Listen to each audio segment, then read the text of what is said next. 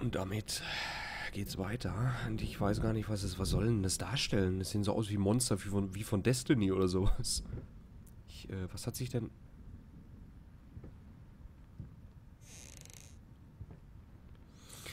Zuerst suchte ich nach einer Leinwand. Nicht irgendeiner Leinwand. Ich musste ein Messer finden. Nicht irgend so ein Brotmesser. Es musste scharf sein wie eine Rasier... Es musste scharf wie eine Rasierklinge sein. Also benutzt, benutzte ich tatsächlich eine Rasierklinge und zog vorsichtig die Haut ab. Der Suff half dabei, meine Hand ruhig zu halten.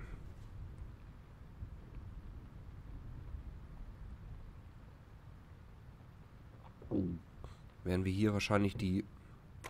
Ja, hier werden jetzt... Okay, also wenn es wahrscheinlich 1, 2, 3, 4, 5, logischerweise wahrscheinlich 5 Sachen sind, die wir noch... Alter, der hat die Haut abgezogen.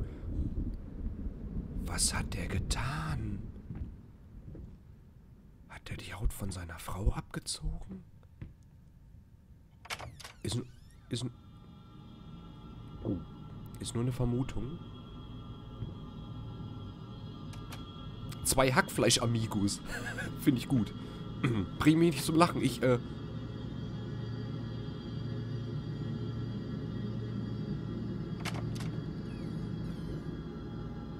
Ein Fahrstuhl. Ja, klingt vielversprechend. Würde ich jetzt mal sagen, wir gehen mal da ganz spontan einfach mal in den Fahrstuhl. Alter, 31 Zuschauer, ihr seid... 30 Zuschauer, ihr seid wahnsinnig. Ihr seid wahnsinnig. Vielen lieben Dank und willkommen zu... Alter, was blinkt? Was blinkt denn hier so? Jetzt geht's aber gerade ab, ey. Jetzt lädt auch noch Gronk gerade ein Video hoch, ey. Das ist... Uh. Wo fahren wir denn hin? Was haben wir denn da? Äh, ich kann es kaum lesen. Run, off, stop. Warte mal. Geht nur in eine Richtung. Es wird wahrscheinlich nach unten gehen, ne? Oh nein. Ist mal ein Wunder. Normalerweise bei Horrorspielen, Fahrstühlen geht es immer nach unten. Ich bin sehr gespannt. Was da so auf...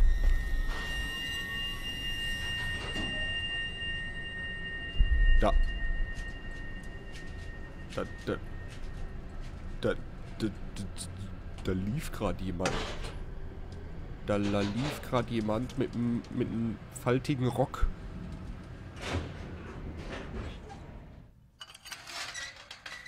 Ich hoffe nicht, es ist unsere Alte. Der wir die Haut abgezogen haben. Ich...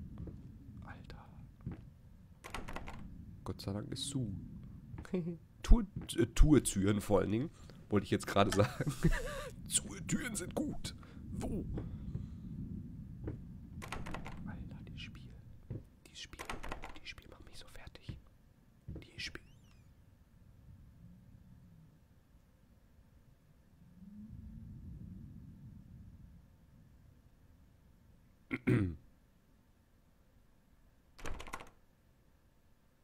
Da will jemand, dass wir da hingehen.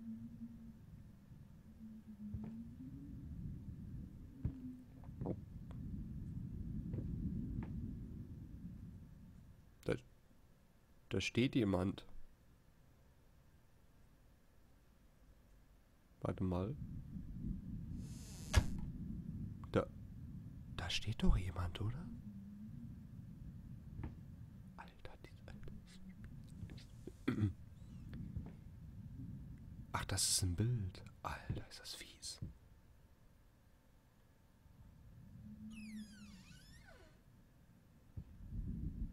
Was ist das denn für ein Raum? Ich will da nicht rein. Ich, ich will da nicht reingehen. Da liegt ein Schlüssel. Die Tür geht doch zu, oder?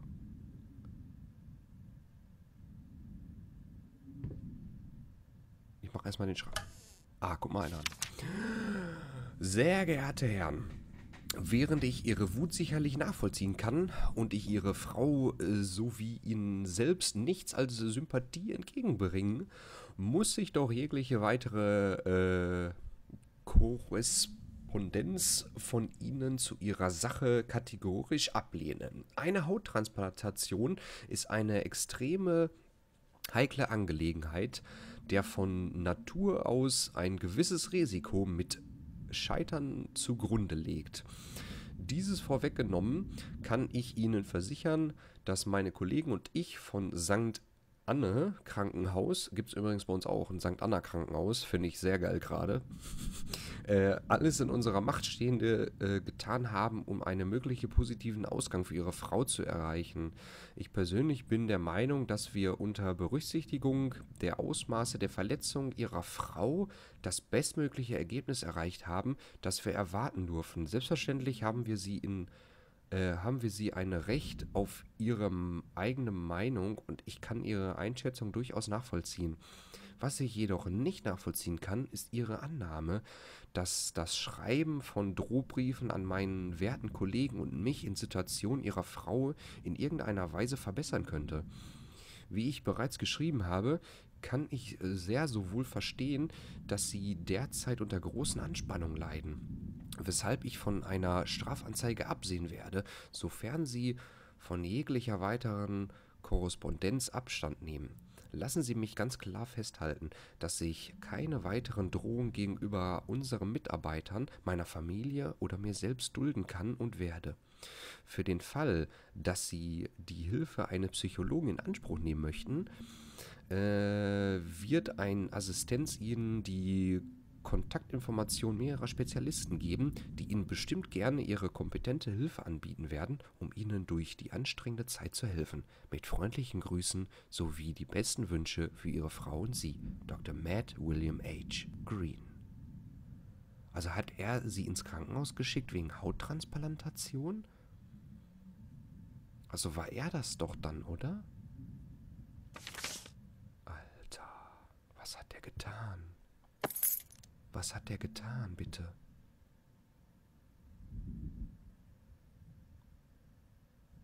Dieser Raum hat sich gerade...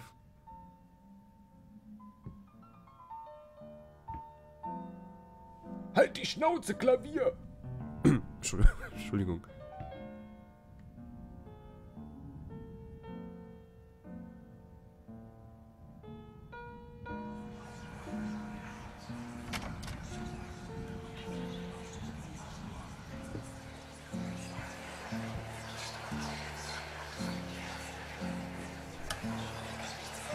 Why did you stop? That tune was perfect. Honey, please, just a little longer. At least until I finish painting this one part.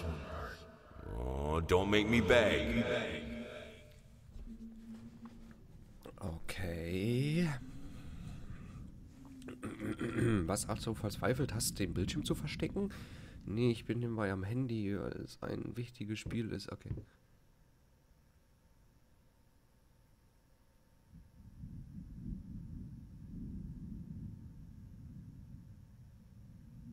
Sieht ein bisschen aus wie hier unten, sieht so ein bisschen aus wie Schambehaarung, aber ja, ich äh, mache wieder komische Witze, ich weiß. Ich, äh. Alter.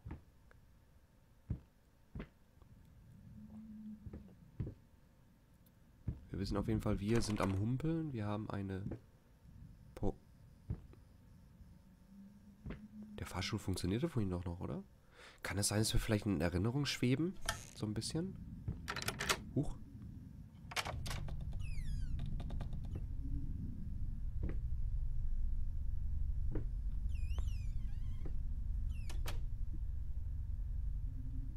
Türen. Ich kann mich gar nicht entscheiden. Ich muss sagen, die Türindustrie lief ja ganz besonders früher, ne? Kann das sein? Das ist... Zu dem Zeitpunkt vor... Ich höre ein Feuer. Das ist wahrscheinlich... Das Lagerfeuerlied.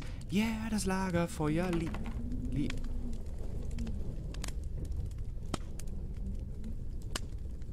Ich, äh... Okay, da komme ich gar nicht rein. Gehen wir mal hier lang. Komme ich hier? Aha, nach oben. Aha.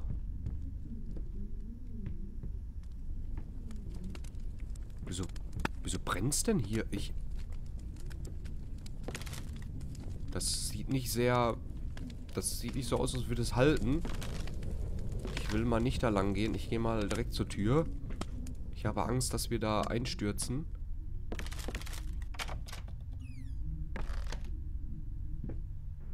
Alter, dieses Spiel.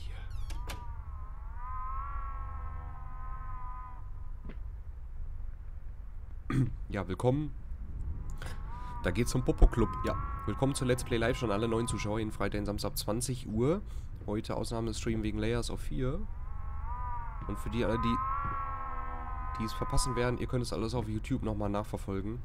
Ich nehme gerade live im Live-Let's Play auf.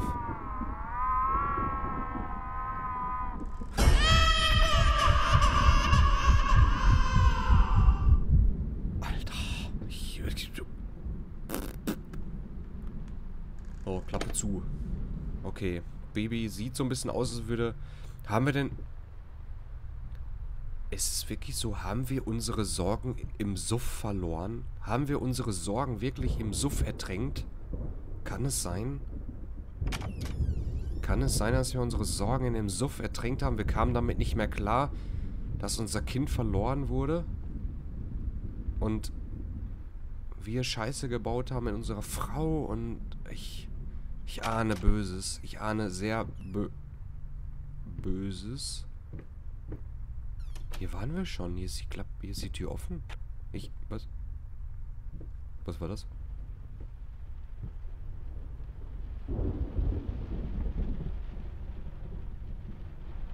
Mir ahnt Böses. Mir. Mir ahnt. Nee, hier waren wir doch noch nicht. Ich dachte, wir waren hier schon. Hallo, ich will gerne die Schublade öffnen. Ah, guck mal was zu lesen. Äh, Warnsignale. Die nun folgende Liste ist eine Aufzählung der am häufigsten auftretenden Symptome der Schizophrenie.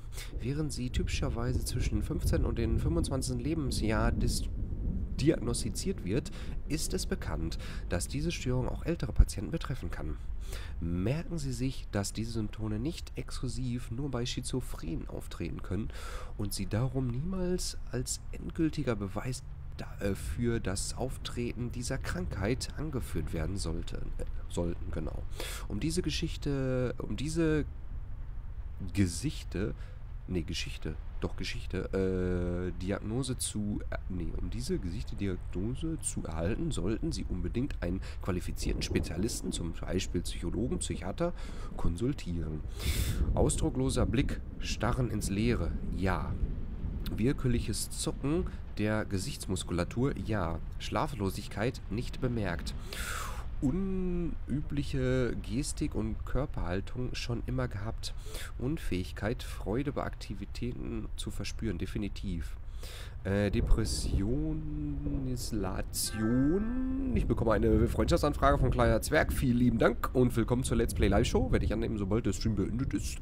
Ähm, was soll das überhaupt bedeuten? Äh, ungeschickte, schwerfällige Bewegung könnte vom Unfall kommen. Anfälligkeit für wütendes, ablehnendes Verhalten, eher passiv-aggressiv.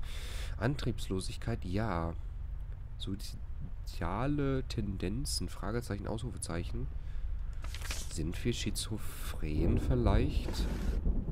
Dass wir uns alles nur einbilden, aber ich glaube eher nicht. Ich, äh...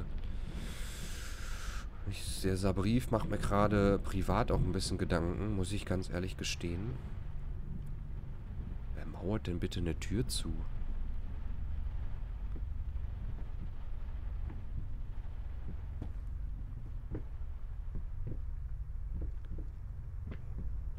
Make up your mind. Entscheide dich. Aber wofür soll ich mich denn entscheiden? Ich bin sehr gespannt. Und ich würde sagen, wir machen hier für YouTube nochmal eine kleine Folgenpause. Bis demnächst.